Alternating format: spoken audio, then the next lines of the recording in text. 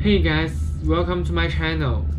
Recently I came across Steve Mould's YouTube video about building a computer with water and I learned that the most basic component in the digital circuit is logic gate and I wanted to you build a machine that can use logic gates to compute too and uh, logic gates contains AND gates, OR gates, and exclusive OR gates. In my plan, I'm gonna use AND gate and exclusive OR gate to build a calculator.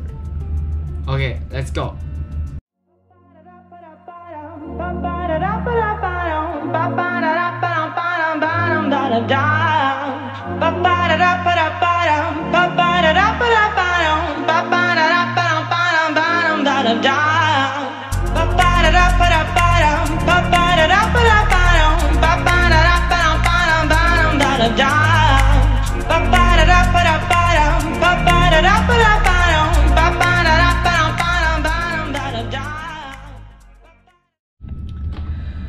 Okay, now let me describe exactly how this for adder works.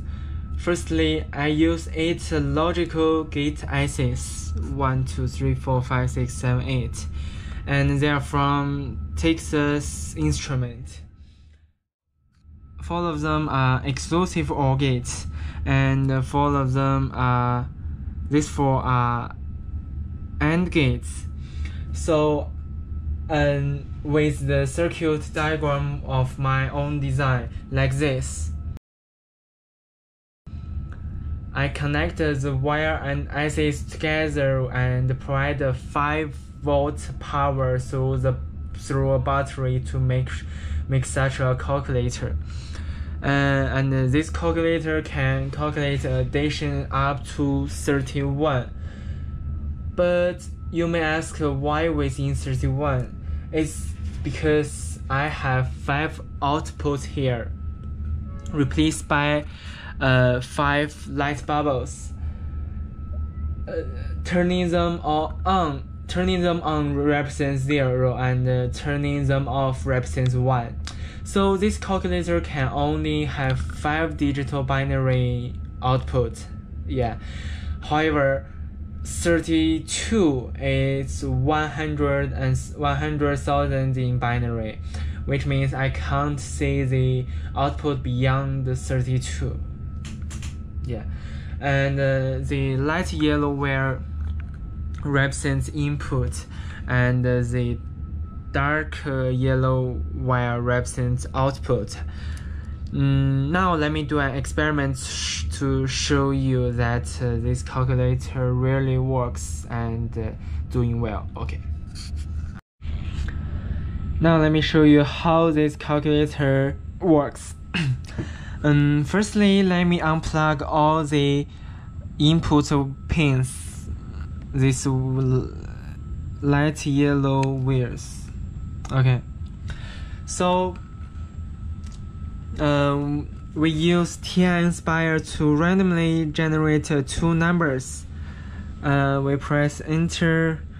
We can see we got uh, 5 and 6. Okay. Uh, the 5 in binary equals to 0, 1, 0, 1. And the 6 in binary equals to 0, 1, 1, 0. Yeah, so let me look at this board at first. We can see that uh, the power through the this wire to the board to this axis.